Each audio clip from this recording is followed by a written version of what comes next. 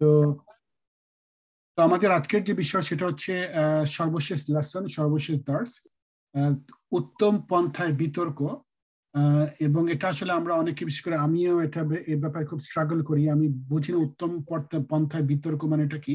বিতর্ক মানেই তো ঝগড়াঝাটি তাই না? সেটাই তো আমরা মনে করি। তা আসলে ইসলামিক শরীরের দৃষ্টিকোণ থেকে আমাদের রসুল ইসলামের যে যে উনি সুন্না অনুযায়ী আমরা কীভাবে বিতর্ক করব? আজকে আমাদের শায়ক ব্যাপারটি বুঝিয়ে দিবেন এবং চতুর্থ উত্তম আদর্শ এটা আলোচনা হবে। তারপর ইনশাল্লাহ আমাদের কোর্সটা সমাপ্ত হবে। আমরা কোর্স সমাপ্তির পরপরই আমি লিঙ্কটা পাঠিয়ে দিব বা এই দার্সের শেষের দিকে পরীক্ষার লিঙ্কটি পাঠিয়ে দিব। সেটা আটচল্লিশ ঘণ্টা আমরা একদিন বাড়িয়ে দিব ইনশাল্লাহ। চব্বিশ ঘণ্টা নয়, বরং আটচল্লিশ ঘণ্টা দুদিন উন্মুক্ত থাকবে। তো আপনারা প্রশ্নগুলো দেখবেন, ভালো করে পিডিএফ এ যাবেন, উত্তরগুলো খুঁজে পেতে চেষ্টা করবেন, পড়বেন। করে ইনশাল্লাহ আপনারা সবাই উত্তর দিবেন। তারপরে আমি করব কি তিনটি কুইজ মিলিয়ে এবং অ্যাটেন্ডেন্সের উপর ভিত্তি করে আমরা সার্টিফিকেট প্রদান করব ইনশাল্লাহ এবং যারা ভালো করবেন তাদেরকে পুরস্কার দেওয়া হবে বই পুরস্কার দেওয়া হবে। আমি সেটা যোগাযোগ করে ইনশাল্লাহ আমি সেটার ব্যবস্থা করব। আমি এই ব্যাপারে পরে ঘোষণা দিব। তো তো ঠিক আছে শেখ আপনি যদি এখন প্রস্তুত থাকেন তাহলে আমি আপনাকে এখন মানে হ্যান্ড ওভার করছি। আপনি দাঁড় শুরু করতে পারবেন ইনশাল্লাহ। আমি শুরু করছি ইনশাল্লাহ السلام عليكم ورحمة الله وبركاته الحمد لله رب العالمين والعاقبة المتقين ولا عدوان إلا على الظالمين والصلاة والسلام على نبينا محمد وعلى آله وصحبه أجمعين أما بعد يقول الله سبحانه وتعالى في محكم تنزيله أعوذ بالله من الشيطان الرجيم بسم الله الرحمن الرحيم. لقد كان لكم في رسول الله أسوة حسنة لمن كان يرجو الله واليوم الآخر وذكر الله كثيرا. وقال تعالى وكان الإنسان أكثر شيء جدلا.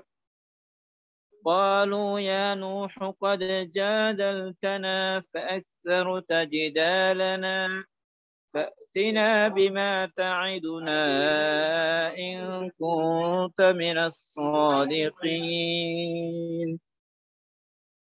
وقال النبي عليه الصلاة والسلام صلوا كما رأيتموني أصلي رواه البخاري.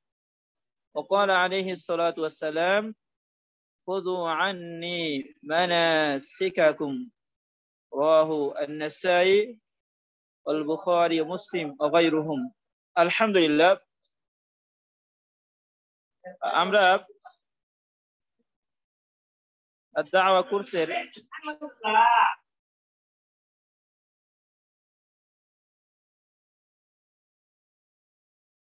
এই যে রুগী পড়ে গেছে એજોન ભાઈ દોરે દોરે દોરે હા એજોન યાર એ એ ભાઈ યુટ્યુબ પર উনি খুবই অসুস্থ খুবই অসুস্থ আল্লাহ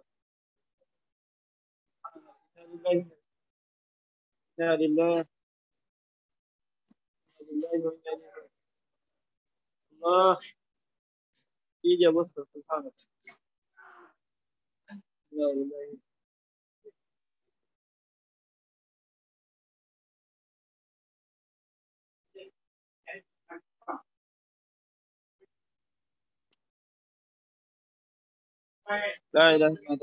এই রোগীর অবস্থা খুবই খারাপ। বৃদ্ধ মানুষ কেউ নেই। ওনার ছেলেরা সেনাবাহিনী। তো আমাদের ছেলে মেয়ে যারা আছে এদেরকে কোরআন শোনার শিক্ষা দেওয়া উচিত। ছেলেকে বিয়ে করানোর ক্ষেত্রেও শুধুমাত্র দর্নাট্য ধ্বনি দেখে কারও আদরে দুলালিকে বিয়ে করা উচিত নয় দেখে শুনে ভালো মেয়েকে বিয়ে করানো উচিত তো আমাদের আমাদের অনেক শিক্ষা হয়েছে এখানে এসে কেবলমাত্র চেহারা সৌন্দর্য ওদের সম্পত্তির অধিকারী কাউকে বিয়ে করা উচিত নয় ছেলে মেয়েদেরকে কোরআন সুন্নার যে শিক্ষা, সেটা অবশ্যই দেওয়াটা জরুরি।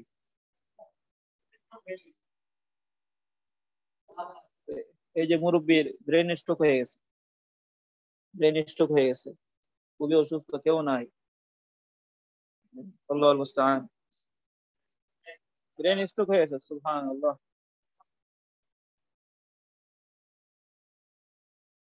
আমরা গত দার্সে পড়েছি, দাওয়ার যে মেন বিষয়, দাওয়াত দেওয়ার পদ্ধতি। এটা পদ্ধতি নিয়ে আমরা আলোচনা করেছি। এটা আল হেকমা। দাওয়াতের ক্ষেত্রে হেকমত অবলম্বন করা। স্থান কাল পাত্র, প্রেক্ষাপট বুঝে, ব্যক্তি বিশেষ বুঝে যে সিস্টেমে যে পদ্ধতিতে প্রজ্ঞার সাথে, জ্ঞানের সাথে দাওয়াত দেওয়া উচিত, সেভাবে দাওয়াত দেওয়া তো হেকমা প্রসঙ্গে আমরা বিস্তারিত আলোচনা করেছি। অতপর আমাদের দ্বিতীয় পদ্ধতি ছিল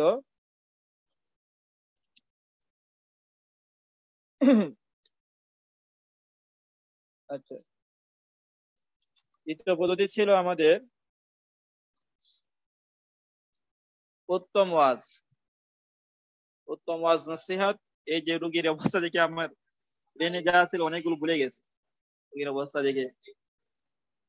আমি আগে অবশ্যই দেখে আসছি। উত্তম ওয়াজ নসিহাত এর মাধ্যমে দাওয়াত দেওয়া, এটা আমরা দলিল ভিত্তিক আলোচনা করেছি। তো আজকে আমরা আলোচনা করব যে উত্তম বিতর্ক, প্রয়োজনে উত্তম বিতর্ক করা। তারপর চার নম্বর আসবে উত্তম আদর্শ। উত্তম বিতর্কের মাধ্যমে সত্যের দাওয়াত, কোরআন দাওয়াত পৌঁছে দেওয়া। চতুর্থ হলো উত্তম আদর্শের মাধ্যমে কোরআন দাওয়াত মানুষের কাছে পৌঁছে দেওয়া। তো আসলে বিতর্ক বিষয়টা কি? বিতর্ক বলতে কি ঝগড়াঝাটি এটা বোঝানো হয়েছে? ঝগড়াঝাটি করা, মারামারি করা আমাদের দেশে যেটা হচ্ছে মারমুখী অবস্থান। হিংসা বিদ্বেষ পরশ্রী কাতরতা একজন আরেকজন পেছনে লেগে যাওয়া। আমাদের সমাজে প্রচলিত বিতর্ক যা আছে, এটা পুরাশূন্য ভিত্তিক বিতর্ক নয়। তো আজকে আমরা জানব বিতর্কের নীতিমালা সিস্টেম পদ্ধতি, কখন বিতর্ক করা জায়েজ উত্তম পন্থায় বিতর্ক করা। এখানে সংজ্ঞা উল্লেখ করা হয়েছে, বিরোধী পক্ষের বিরোধী পক্ষের দাবি ও যুক্তি অসারতাকে দলিলের মাধ্যমে বা সংশয় দ্বারা প্রতিহত করা। যারা বিরোধী, বাতিল পন্থী যারা আছে, এদের দাবি, বিভিন্ন ভ্রান্ত দাবি তারা উত্থাপন করবে। বিভিন্ন অসার যুক্তি যেগুলো গ্রহণীয় নয় অসার যুক্তি তারা পেশ করবে, সেগুলোকে দলিলের মাধ্যমে বা সংশয়ের দ্বারা প্রতিহত, সংশয়। সংশয় মানে এটা যুক্তির মাধ্যমে এটা প্রতিহত করা। যেমন, তো আহলে কোরআন যারা বলে, হাদিস মানা যাবে না, হাদিস তারা মানবে না, রাসুলের হাদিস মানবে না। তো আমি বললাম আচ্ছা ভাই, আপনি বলছেন রাসুল্লাহ সাল্লামের হাদিস মানবেন না। কিন্তু দেখলাম আপনি সাইদি সাহেবের আলোচনা শেয়ার করেছেন। আপনার অনুসৃত ব্যক্তি যারা আছে, যারা আপনার নেতা যারা আছে, আপনি তো তাদের কথা মানছেন। তো তাদের কথাবার্তা কি রাসুলের কথার চেয়ে উত্তম বেশি? হ্যাঁ? রাসুলের কথা মানতে আপনার আপত্তি রয়েছে? আপনি মানবেন না? আর সাইদি সাহেব অমুক তমুক বক্তার আলোচনা আপনি গ্রহণ করছেন, আপনার যারা পছন্দনীয় ব্যক্তি যারা আছে, তাদের আপনি লেকচার শুনে সেগুলো আপনি মানছেন, গ্রহণ করছেন। তো সে একথা শুনে একটা এর মধ্যে পড়ে গেল তুমরো জালে পড়ে গেল, সে বলল, আপনি কি বলছেন? আমার তো বুঝে আসছেন। তো এই ধরনের সে যে সংশয়ে আছে এর প্রতি উত্তরে কিছু তুলে ধরে তার সংশয় দূর করা। বর্তমানে নাস্তিকদের বিভিন্ন সংশয় আছে। তো তসলিমা নাস্তিক সহকারে অনেক নাস্তিক যারা আছে, যারা ইসলামের দুশ্মন, তারা ইসলামের বিভিন্ন বিষয় নিয়ে সংশয়, আপত্তি তারা উত্থাপন করে থাকে। এক্ষেত্রে আরিফ আজাদ, যদিও তার সবকিছু আমরা সমর্থন করি না, তো নাস্তিকদের প্রতি উত্তর দেওয়ার ক্ষেত্রে তার অবদান ভালো। ডাক্তার জাকির নায়ক, তিনিও মার্শাল্লাহ অনেক সুন্দরভাবে নাস্তিকদের বিভিন্ন অবান্তকর তাদের যে দাবি, তাদের যে সংশয়, সেগুলো তিনি সুন্দরভাবে নিরসন করেছেন। তো বিরোধী পক্ষ যারা হবে, তাদের যে বিভিন্ন ভ্রান্ত দাবি বা অসার যুক্তি, সেগুলোকে দলিলের মাধ্যমে খণ্ডন করা। সংশয় হলে সেটাকে প্রয়োজনে এই ধরনের কথাবার্তা উত্থাপন করে যেহেতু তাদের মাঝে সংশয় রয়েছে এই জন্য সরাসরি অনেক সময় কোরআনে দলিল দিলে চলবে না। আদিসে দলিল দিলে তারা মানতে চাইবে না। এক্ষেত্রে সিস্টেম বুঝে কিছু বিষয় এদের উত্থাপন করা, যাতে করে তারা তাদের এই ধরনের সংশয় থেকে ফিরে আসতে পারে। আচ্ছা তারপর জিদাল, বিতর্ক, এর প্রকার ভেদ। তো এখানে বলা হয়েছে, এই যে বিতর্ক করা, এটা ভালো হতে পারে, মন্দ হতে পারে। এজন্য ওলামাই কেরাম এই বিতর্ককে দুই ভাগে ভাগ করেছেন। একটি হলো মাহমুদুন, প্রশংসনীয়। মাহমুদ মানে প্রশংসনীয় বিতর্ক। আর এটি হলো নিন্দনীয়, মাজমুমুন। মাহমুদুন কিছু আছে প্রশংসনীয়, কিছু আছে মাজমুমুন, নিন্দনীয়। তো এই যে বিতর্ককে দুই ভাগে ভাগ করা হয়েছে। এটা কেন করা হয়েছে? এই ভাগ করা হয়েছে বিতর্ককারী যারা যারা বিতর্ক করে করে, তাদের উদ্দেশ্য, পদ্ধতি, বিতর্কের ফলাফল প্রবৃতির প্রতি খেয়াল করে ইত্যাদি খেয়াল করে যে তারা যে বিতর্ক করছে, বিতর্কের উদ্দেশ্য কি? এর পদ্ধতি সঠিক কিনা? এবং এর ফলাফল কি ভালো না মন্দ? এদিকে খেয়াল করে দুই ভাগে ভাগ করা হয়েছে। যদি এমন হয়, যে বিতর্ক করা হয়, সত্যকে হককে প্রতিষ্ঠা করার জন্য বা হককে শক্তিশালী করার জন্য এবং যদি সেটা সঠিক পন্থায় হয়, সঠিক পদ্ধতিতে হয়, এবং এর ফলাফল যদি ভালো হয়, যদি এর ফলাফল, পরিণাম ভালো হয়, যে বিতর্ক করার কারণে একটা অন্যায় শরীর বিরোধী কর্মকাণ্ড, সেটা প্রতিহত হয়েছে, সত্য প্রতিষ্ঠিত হয়েছে, মানুষ ভুল ধারণা থেকে দূরে সরে এসেছে। তাহলে সেটা উত্তমভাবে করা গেলে সেটা অবশ্যই, এই গ্রহণীয়, সেটা করা যেতে পারে, সেটা করা যায় আছে। তো বিতর্ক এই বাহাস মোনাজারা যেটা আছে, এটা সাধারণত মানুষের একটা স্বভাবগত একটা বিষয়। মানুষ কম বেশি করে। কেউ হয়তো এই নম্র ভাষায়, মার্জিত ভাষায় সেটা করে স্বামী স্ত্রীও পরস্পর কথাবার্তা বলে কিছু একটা যুক্তির মাধ্যমে বিভিন্ন কথাবার্তা হতে পারে, স্বামী স্ত্রীর মাঝেও হতে পারে ছেলে, মেয়ে, পিতার মাঝেও সেটা হতে পারে, বিভিন্ন বিষয় নিয়ে পরামর্শ করতে গিয়ে সামাজিক ভাবে সেটা হতে পারে রাজনৈতিক রাজনৈতিক ভাবে সেটা হতে পারে। তো ওলামাই কেরামও তারা পরস্পর বিভিন্ন বিষয় নিয়ে কোন একটা এলমি গত বিষয় নিয়ে মাসালা নিয়ে তারা পরস্পর দলিল ভিত্তিক বিতর্ক করতে পারেন। তো এই বিতর্ক করা কখনো ভালো হতে পারে, মন্দ হতে পারে। তো বিতর্ক এই যে করাটা, এটা সাধারণ মানুষের একটি স্বভাব রয়েছে এমন বিতর্ক করার। তো কোরআন কারিমে সুরাতুল কাহাফের চুয়ান্ন নম্বর আয়তে আল্লাহ বলছেন আর মানুষ সবচেয়ে বেশি বিতর্ক করে বেশি বিতর্ক করে ঝগড়াটে তো এটা হলো খারাপ মানুষের বৈশিষ্ট্য, অতিরিক্ত বিতর্ক করা, সত্য মেনে না নেওয়া। এটা হলো যারা দুশ্চরিত্রের অধিকারী, যারা খারাপ খারাপ প্রবৃতি যারা খারাপ স্বভাবের যারা অধিকারী, তারাই সাধারণত অতিরিক্ত বিতর্ক করে থাকে। এ প্রসঙ্গে এখানে একটা হাদিস নেই, আমি একটা হাদিস উল্লেখ করব। যে হাদিসটি তিরিমেজির তিন হাজার দুইশত তেপান্ন নম্বর হাদিস, ইবনে মাজার আরসুল্লিশ নম্বর হাদিস, মুসলাম আহমদের বাইশ হাজার একশত চৌষট্টি নম্বর হাদিস।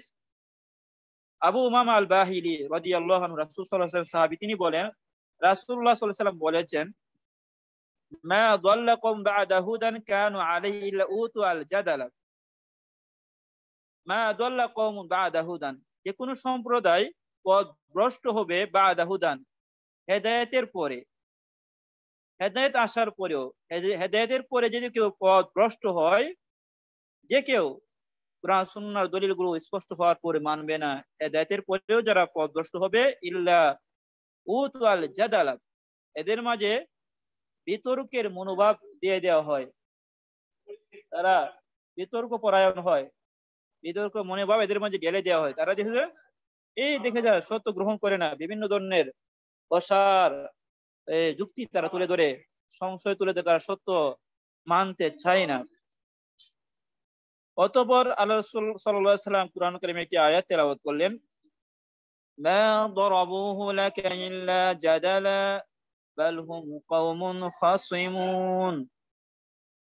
তারা কেবল আপনার সামনে তর্কমূলক দৃষ্টান্ত তারা পেশ করেছে।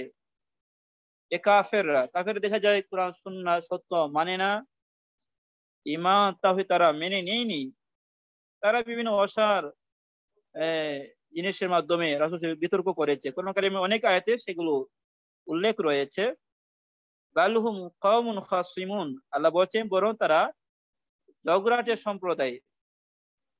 তারা ঝগড়াটের সম্প্রদায়, তারা ভালো ভালো মানুষ না। তাহলে এই যে যে কোনো বিষয় বিতর্ক করা, এই যে মন মানসিকতা আমাদের অনেকের মাঝে আছে।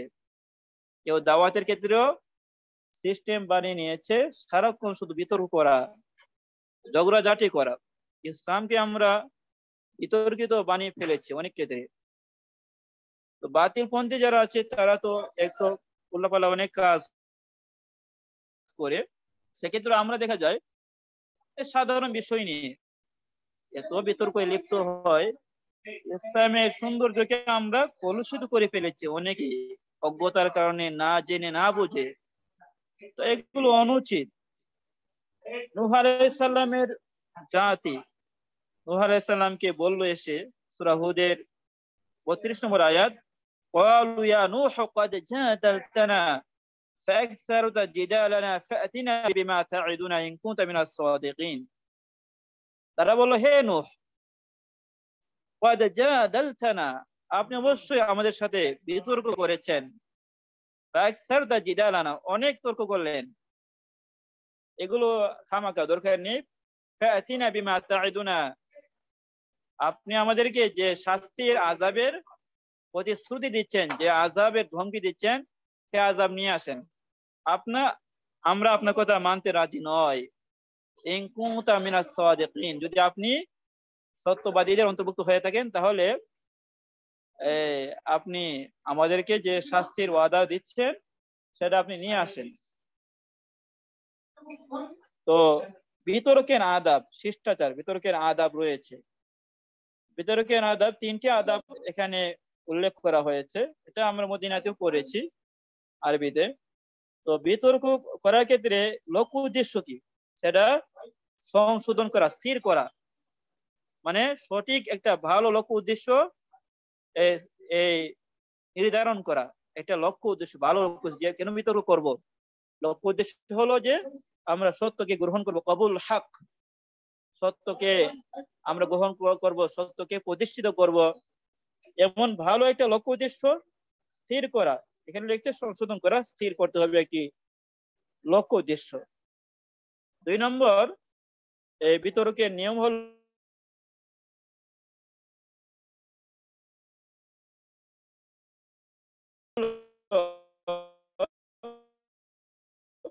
ভিতর মাদ্রাসা থেকে একজন দিয়েছিলেন।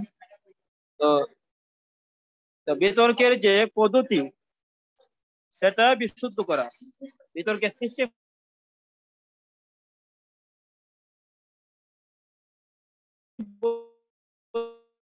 পদ্ধতি সুন্দর হওয়া বিশুদ্ধ পন্থায় হবে। ঝগড়া বিবাদ, মারামারি, কাটাকাটি, রক্তপাত হয়। সমাজে কেতনা বিশৃঙ্খলা তৈরি হয় সিস্টেমে নয়। রুগীকে টেনে নিয়ে যাচ্ছে, রুগীকে নিয়ে যাবে। তো এখানে অনেকে ডাক্তার যারা, তারা আসছে। তো অনেক মানুষ, উনি পড়ে গেছেন, ওনার অবস্থা খুবই খারাপ। দান করুন। মানুষ। তারপর তিন নম্বর হলো বিতর্কের আদাব বিতর্কের যে শিষ্টাচার আদাব হলো এর ফলাফল বিশুদ্ধ করা। প্রভাব নিরাপদ হওয়া, ফলাফল। ফলাফলের জন্য ভালো হয়। যদি ফলাফল খারাপ হয়, যেমন ছেলের যারা খারাপ হয়ে যা আগে ছিল হয়তো সামান্য মতো বিরোধ ছিল, কোন একটা মাসালা নিয়ে এমন হয়ে গেল কি? পরে চরম শত্রুতা তৈরি হলো, বিদ্বেষ তৈরি হয়ে গেল, মার মুখে অবস্থান তৈরি মারামারি তৈরি হয়ে গেল। এগুলো হয় আমাদের সমাজে, অনেক ক্ষেত্রে হয়। তো ইমাম গাজারি রহিমউল্লাহ ওনার একটি বই, ছোট বই আমি পড়েছি আইহাল ওয়ালাদু ইমা ওহাম আল গাজারি অনেকে গাজারি বলে, এটা শুদ্ধ না শুধু গাজালি আইহাল ওয়ালাদ, ছোট্ট একটি বই। সেখানে তিনি অনেক সুন্দর সুন্দর উপদেশ দিয়েছেন। তন্মধ্যে তিনি বিতর্কের ক্ষেত্রে অনেক উপদেশ দিয়েছেন। এবং তিনি সেখানে উল্লেখ করেছে অনেক সময় দেখা যায় বিতর্কগুলো হয়তো এক সময় এমন ছিল, কেউ ভুলের মধ্যে ছিল সে অজ্ঞতার কারণে পাপের মাঝে ছিল সে গ্রহণ করে নাই সাধারণ পাপ ছিল। কিন্তু দেখা যায়, এই বিতর্ক করে অনেক সময় এমন হয় যে, ওই ব্যক্তিকে কুকুরের দিকে নিয়ে যাওয়া হয়। সে সত্য স্পষ্ট হয়, বলার পরে সে মেনে নেয় না। মেনে নিতে চায় না। বলে দেখা যায়, সাধারণ পাপ থেকে সেটা কুকুরের দিকে চলে যায়। কারণ সত্য বুঝে শুনে একশো পার্সেন্ট বোঝার পরেও সেটাকে অস্বীকার করা, প্রত্যাখ্যান করে। এটা তো কুকুরি আর দেখা যায় অনেক সময় ভিতরের কারণে হিংসা, বিদ্বেষ তৈরি হয়, ফেতনা তৈরি হয়। ফলাফল দেখা যায় ভালোর চেয়ে খারাপ হয়। এবং প্রত্যেকে আমাদের দেশে যেটা হয়, সেটা হলো নিজের মতামত, মতাদর্শ প্রতিষ্ঠা করা। বিতর্কের উদ্দেশ্য হয়ে থাকে আমারটা একশো পার্সেন্ট সঠিক। অবশ্যই কোরআন সুন্না ভিত্তিক যে মাসালা আছে, বিষয়গুলো আছে সালাবদের সাহাবে কেরামের রাখবে সেটা অবশ্যই বিশুদ্ধ। কিন্তু দেখা যায় আমাদের সবাই, সবার দৃষ্টিভঙ্গি হলো, আমারটা হলো একশো পার্সেন্ট মিয়া, ফিল মিয়া, একশো পার্সেন্ট হলো এটা সঠিক। আমি একমাত্র হকপন্থী, আমারটা যে কোনো উপায়ে উপায়ে যে কোনো চল চাতুরি গ্রহণ করে, প্রয়োজনে সুটা ব্যবহার করে হলো সেটা প্রতিষ্ঠা করতে হবে। আচ্ছা।